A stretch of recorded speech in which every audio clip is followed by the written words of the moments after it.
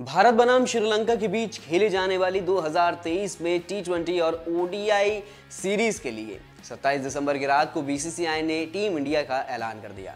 आपको बता दें कि इस सीरीज़ से कई दिग्गज चेहरे बाहर हो गए। वहीं ओडीआई सीरीज़ की बात करें तो रोहित शर्मा कप्तान बरकरार हैं, लेकिन इस सीरीज़ से भी कई बड़े खिलाड़ियों को बाहर कर दिया गया है, जिसमें ऋषभ पंत, भुवनेश्वर कुमार और गब्बर कहलाए जाने वाले शिखर धवन भी टीम इंडिया की ओडीआई सीरीज़ का हिस्सा नहीं है।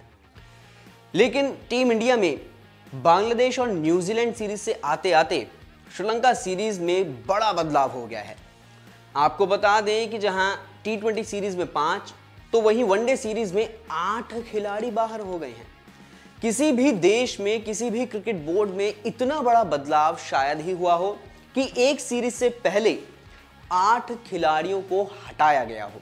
ये सिर्फ़ भारतीय क्रिकेट बोर्ड में ही ऐसा देखने को मिला है। यानी कि एक सीरीज़ में आपको वो चेहरे देखने को मिले, जिन्हें या तो लंबे समय बाद मौका मिला, या फिर वो अपना डेब्यू कर रहे थे। लेकिन अगली ही सीरीज़ में उन सभी खिलाड़ियों के साथ साथ दिग्गजों को भी बाहर का रास्ता दिखाया गया है।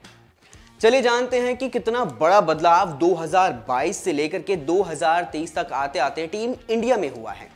न्यूजीलैंड के खिलाफ टी ट्वेंटी टीम इंडिया में देखा जाए तो श्रेयस अय्यर, ऋषभ पंत, कुलदीप यादव, मोहम्मद सिराज और भुवनेश्वर कुमार शामिल थे।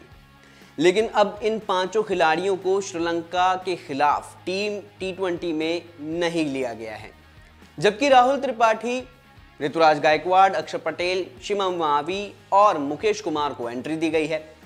वहीं वनडे टीम की एक बार बात कर ले तो शिखर धवन, रजत पाटीदार यश धूल, दीपक चाहर, राहुल त्रिपाठी, शार्दुल ठाकुर, ऋषभ पंत और शाहबाज अहमद शामिल थी।